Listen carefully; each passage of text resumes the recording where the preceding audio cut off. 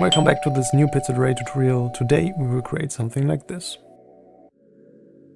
Okay, here we're in a fresh Blender scene and this is a quick one. So we want to use here this cube and hit into geometry nodes, new geometry node and rename this one here cubes.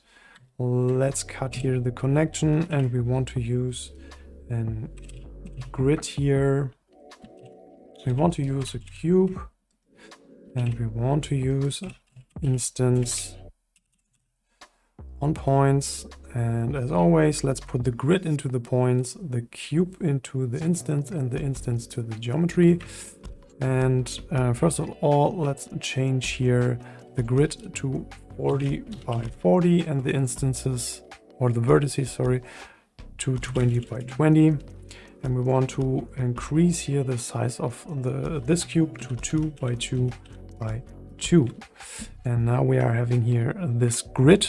And what uh, we want to do now is here add a modifier again which is the uh, wireframe. But nothing happens because we have to go here into geometry nodes and set or search here for realize instance. Put this one here between and now we are having here this grid here with the wireframe. And let's change here the thickness the thickness to uh, 0.18 so our lines are a little bit thicker. And what we want to do now is um, create another instance to point on points and want to but we want to use the same uh, grid but another cube, which is, uh, let's duplicate this one here. And now we can put this one here to the instance as well. But uh, let's change here the size back to one by one by one. Nothing happens. We have to add here a join geometry and this one should be uh, before the realize instances. So let's put this one here and now we are having here this cube inside another cube. And that is looking really good here right now. And yeah, let's go here into the rendering. And I'm using Eevee here. So let's enable ambient occlusion bloom and screen space reflections. And disable this one and maybe do something like this. Okay, and now we have to go here into the shading because we want to add here some textures. So um, yeah, to see a little bit better what we are doing, uh, let's create here this cube uh, and let's disable the grid here and go into rendering. And first of all, we want to use or create here a first material with is uh, black gloss. And let's go here with something like this. Let's uh, yeah, put here the roughness or we can go here and search here for a noise and put this one here into the roughness. And maybe let's go here with a ramp. And now we can see a little bit more what we are doing here right now. So maybe let's go here with something like this. And that's the first material and uh, let's delete this one. Let's make another one, which will be here the neon part. And we um, only want to increase or change here the emission a little bit maybe. Let's go here with 10 and let's get rid here of our uh, light. Okay, let's go back here into geometry nodes and we can uh, yeah, hide here our texture cube or material cube and let's select here our geometry nodes instead and we want to search for set material and put this here into the upper uh, string and select here material black gloss. And now you can see here we're having here this uh, black gloss texture on the outside cubes and duplicate this one paste it here between the uh, down part and select here the neon stuff and now we are having here this uh, neon grid what we can do here now for some cool reflections we can go here into the um, yeah, into the uh, Easy HDRI plugin. I will put the link into the description and I want to create a node setup here and I want to use here the Shanghai Bund. And maybe let's go back here into shading, world and put this uh, add value here to 0.1. So we are having here some uh, reflections, a little trick here.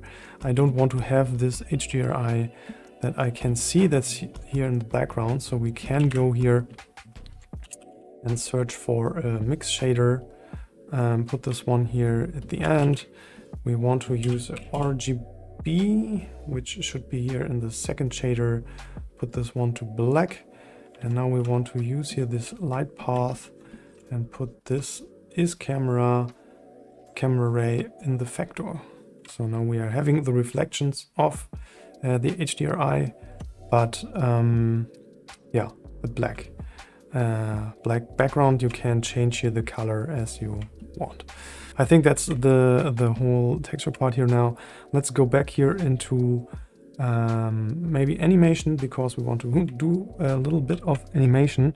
We can add here now uh, a wave modifier and play this one here and now we're having here this uh, cool animation stuff happening, but we want to make some changes and this should be here now.